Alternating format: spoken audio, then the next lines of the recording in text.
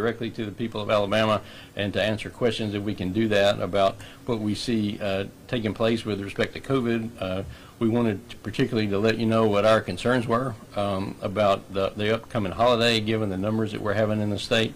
Uh, and, th- and then again, we'll certainly be willing to answer any questions you have about this or any other uh, any other matter.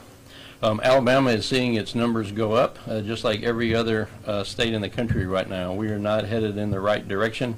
Uh, we are adding uh, a couple of thousand new cases a day, at least, uh, that we are aware of.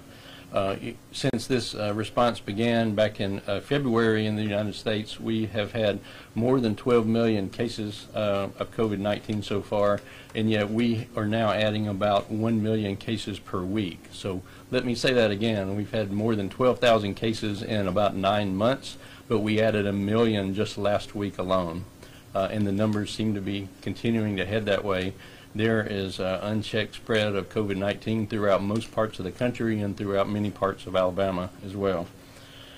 We uh, have had more than uh, 230,000 Alabamians that have been infected so far. Uh, I always want to remind you that those are not numbers of positive tests. Those are unique individuals, more than 230,000.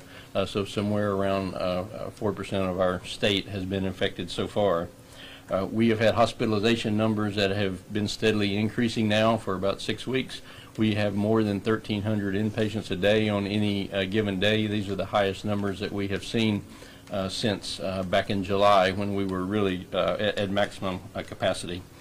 Uh, We have about one and a half percent of all of our cases that have resulted in death so far in Alabama. That's fairly consistent with what a lot of other states are seeing. Some are, some are unfortunately even worse than that. Um, ju- Just to remind you, one and a half percent seems like a low number, uh, but that's about 15 times the death rate we see with influenza.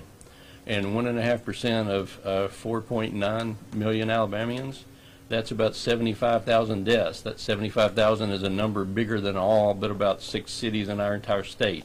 Uh, That's what we might expect if, if everyone in our state were to become infected. So this is the time for people to be vigilant. This is the time to be careful and to think about uh, what you're going to be doing. Uh, Please uh, think about taking responsibility for your behavior so that you don't inadvertently uh, infect someone that you're around holiday times are, are difficult because we all want to be together with our family. I want to be together with my family.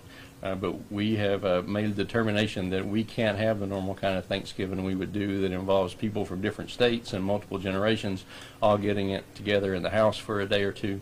Uh, it's just not practical, and, and we're not going to do that. My wife and I are going to stay home on Thanksgiving, just the two of us. And if we're able to see family, we're going to have to figure out a way to do it safely, uh, one person at a time and, and not even clear that we'll be able to, uh, to do that. For those of you that are going to travel, please do everything you can possibly do to keep yourself and your loved ones safe. That we, we don't want this to be the last ever Thanksgiving for someone in your family, like your parents or your grandparents, uh, eh, particularly when, when prevention of disease is so preventable, uh, if we can only do the things that we're supposed to do what kind of Thanksgiving we have is going to go a long way to determining what December looks like. What's our holiday season going to look like, and what kind of numbers are we going to be seeing then? What situation is our hospital uh, going to be in at that time? Uh, are we going to be here a month from now trying to have this same conversation? I, I really, really hope not.